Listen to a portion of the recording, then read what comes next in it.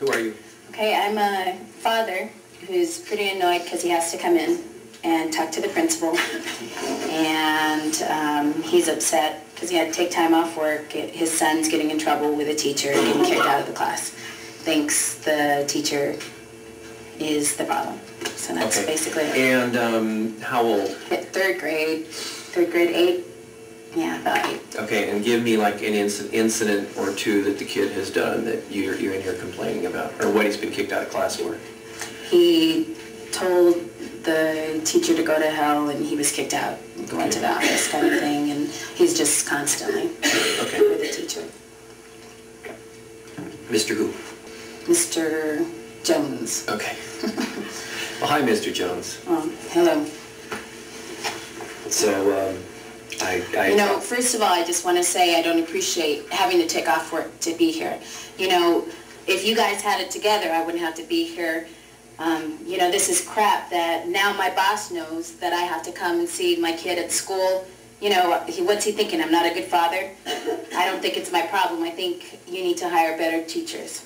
Well, first of all, I, I appreciate that you are here, and you did take time away from your job. Well, you know what, I mean, that doesn't help by not making money now. Are you gonna pay me for that?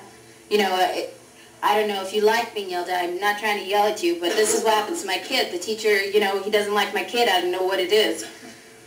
Well, let's put it this way. I mean, obviously, there's a problem with the two of them.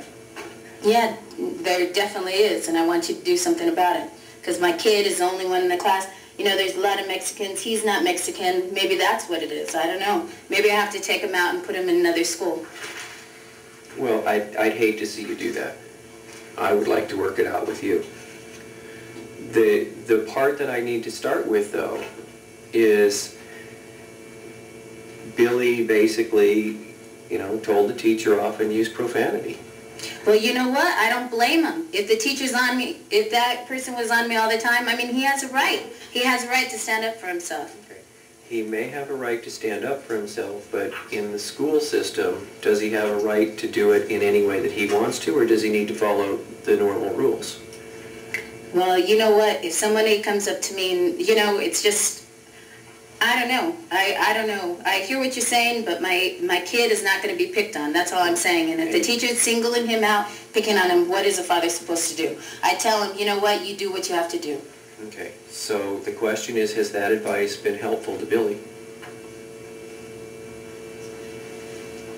Has it been helpful to If it's getting him kicked out of the class, you're telling him say whatever he wants to to the teacher and do whatever he wants.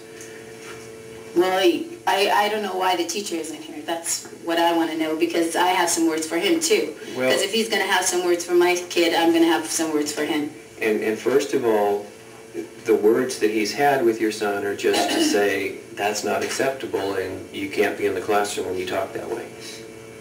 No, that's not what my son says. Well, I understand that too, but, and you, you explained exactly why the teacher isn't here. Because I don't think at this point in time it's gonna do any good for you and the teacher to sit here, for you to then get angry with him. He'll probably then either be hurt or angry with you, and I'm not sure that that's in Billy's best interest. Well, are you going to talk with the teacher and tell Absolutely. him not to treat my son differently than the other kids in the class? Absolutely.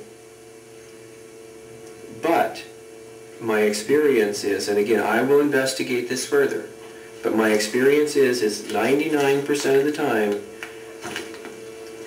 the parent is not getting the full story of what led up to the teacher intervening. Well, you know what? He comes home, he tells me things. I mean, he's not a perfect kid. Right. I have trouble with him at home. I know that. I sort of have a temper myself. But the thing is, you know, I, I Let's put it this Yeah. way. What kind of an experience do you want for him here? Well, I want him to feel welcome. The, the teacher is just telling him, you know, you're not welcome here. You have to get out of the class. I want him to feel good coming to school. Okay, and, and I would be right there with you on that one. What else do you want for him? I him to be able to learn, get a good education. Okay, so when he creates little incidences in class and gets thrown out by mouthing off, does that help him learn? No. But you know what? I think he just picks on him. I mean, other kids say things, he, he doesn't do anything with them, but he picks on Okay, him. Okay, and let's put it this way. If somebody's a troublemaker at your work, Does your boss watch him more? Yeah. Okay. That's kind of where I think the situation's gotten. And, and has Billy done, you know, super bad things? No. But the little stuff like he does at home, what does he do? Well, he, you know, he breaks windows and have neighbors come talk to me. He gets in fight. He's just a rough kid, you know. Yeah. He just plays around. He's Right. a boy, you know. Okay, so he's a boy's boy, he gets into all that stuff, but what happens when it's in a classroom and a teacher's trying to teach? Now, and does Billy think he's causing trouble? No. But do you see how, to a teacher, he would be? Yeah. Well, I mean, I understand. He had, the teacher has a lot of other kids, and right. I mean, I talked to him. Be good, but The, the part that I think that, that, that I'm really concerned about that you brought up is if the teacher is in any way, and I, I may even go watch for a little bit, but the key that you said is I would like him to be welcome too. Even kids that cause problems should be welcomed in a classroom, to me. definitely. I mean, I didn't have that. You know, Mm-hmm. I, I was. I, yeah, I want that for my son. I want things different. Right, but you, do you also understand that I won't condone him creating problems in class and telling the teacher off? I'll back the teacher on that every day. Yeah, no, I know you have to do your job. I understand that. Okay, so how can we work together? We're both, we're both right on the same page with the welcoming thing. How else can we work together? And I don't mean punishing Billy or getting him in any more trouble, because I don't think that getting him in trouble is how he's going to learn. So how can we convey a message to him, and maybe how can I work with the teacher to convey a message to him that it's in his best interest to follow some rules without just threatening him and punishing him? Well, I think you need to go talk to the teacher, tell him to give him, a, you know, don't write him off, give him a chance. If you keep with him, I mean, I know, I see you stick Okay. with him, he'll come around. Okay, let's, okay, how about this? I'll do that with the teacher, will you do that with Billy about the teacher? Give him another chance, that when you do stuff, he's trying to teach and do his job. Sure, sure, I'll talk with him about that. I hope you'll watch part 2 for the conclusion and processing. YouTube doesn't allow more than 10 minutes on a video, so I had to break this into two segments.